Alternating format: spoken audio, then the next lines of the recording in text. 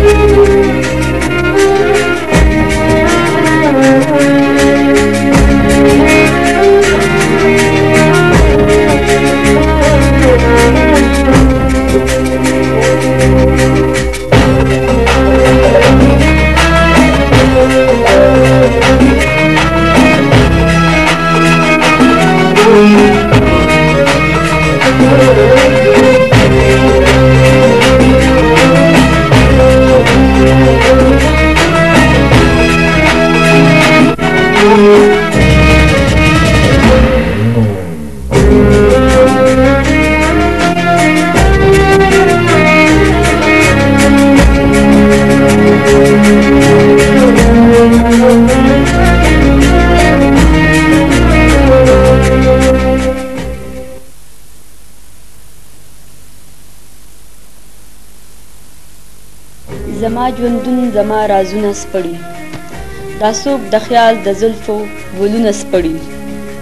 د کم سحر د راتلو زیرو ده غوټۍ د پاڼو اوربلونه سپړي هغه نشه هغه سرور د سپرلۍ بویه چې بیا ډوډۍ ګلونه سپړي ګران کتل کونن به مونږه ډاکټر راج ولی شاه نظم نثر او په تحقیق او د هغوی انتظامي د موارو باندې خبرې اترې وکړو او د دې خبرې اترو کول لپاره موږ د ادب د دنیا نوموړي شخصیات پروفیسر پریشان خټک او ادبي مجاهد یار محمد محموم صاحب ته راغلي دي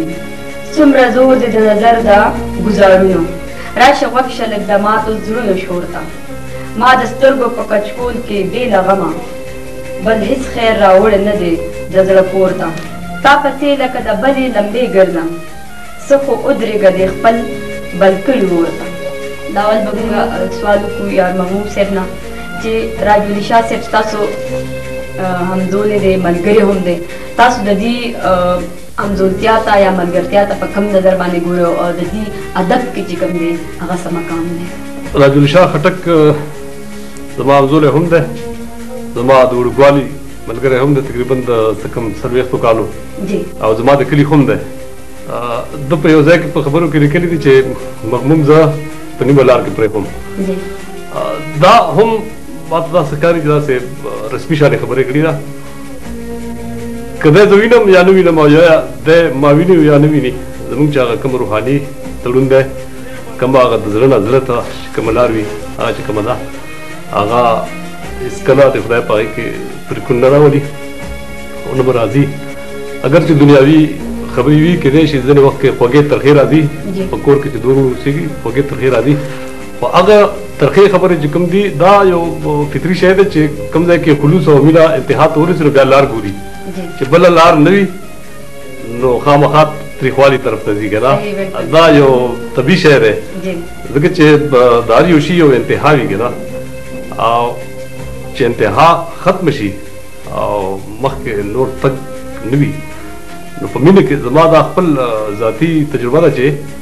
په خلوص کې او په مینه کې چې بیا تریخوالي طرف ته خبره لاړه شي ځکه چې هغه قدرتي رد عمل یې داسې وي ما چې د دې په کتاب باندې څه لیکلي نو په هغې کې یو څه خبرې د دغې دوستۍ یا د دغې تعلق په باره کې هم دي زه د هغې نه یو پراګراف تاسو ته او ګرانو کتونکو ته اردو کې ته وروم ستاسو په اجازه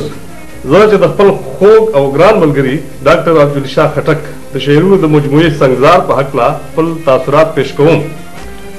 نو داسې محسوسوم لکه چې د ماضي د آئینې د مخ نه ګردونه سندم او په دغه آئینه کې د ښاغلي راجولي شاه خټک د تصویر سره سره د خپل تصویر د خط و خال ننداره کوم د دغو تصویرونو په مخ ماته اوس هم د هغه ستړیو احساساتو دردېدلو جذباتو او بېقراره لیونتوب نښې ښکاري د کوم د اثر لاندې چې موږ شاعري شروع کړې وه چونکې زموږ د احساساتو، جذباتو او لیونتوب سرچینه یوه وه نو ځکه ما ته داسې محسوسېږي لکه چې زه د ښاغلي راجولي شاه خټک د شاعرۍ پېژندګلو نه بلکې د خپل دردېدلي ماضي یو داستان لیکم. زه په خوشفهمۍ کې یا غلطفهمۍ کې تر اوسه پورې پروت یم او شاید چې زما دا خوشفهمي او غلطفهمي دا رښتیا وي چې د ده په شعر کې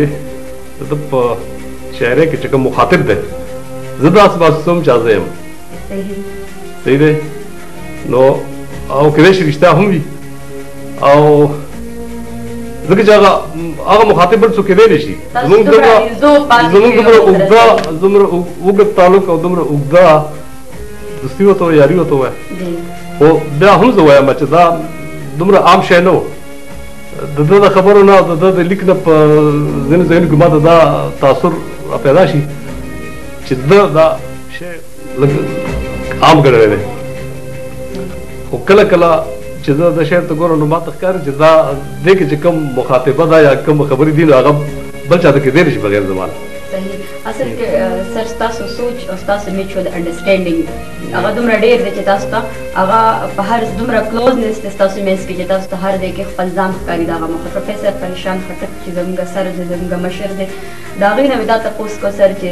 د پښتو اکیډمي کې چې کوم خدمات دي هغه دا غي خدمات ته تاسو په کوم نظر ګورئ او ډاکټر صاحب د دې ډایرکټر هم پاتې دي صاحب کا هغه خدمات ته به تور شاعر ادیب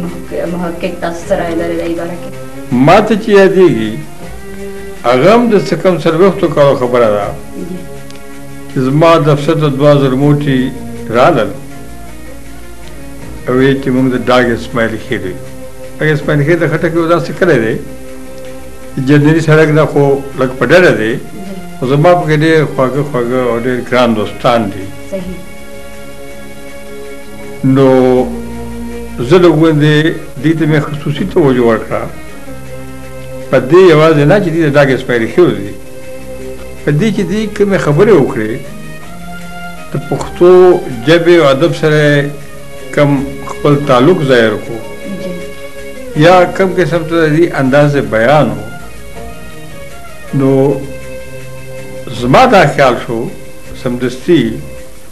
چې دې علاقانو کې ډېر گنجایش دی چونکه خبره پر جوړېشا کېږي ډاکټر جوړي شاه بیا موقع داسې برابره شوه چې موږ په دې کامیاب شو چې هغه اکیډمۍ ته راغی نو ما به رجوړي شاه ته یو موضوع ورکړه چې دې موضوع به دې ولیکه خپل دغه به ورکړه یعنې خیال به ورکړه خو لیکنه به د دنیا هره موضوع چې ته به ما ورکړه په هغې باندې به داسې پاخه لیکل ته وکړل چې د هغې نه به دا ثابته شوه چې په ده کې علم هم شته او فکر هم شته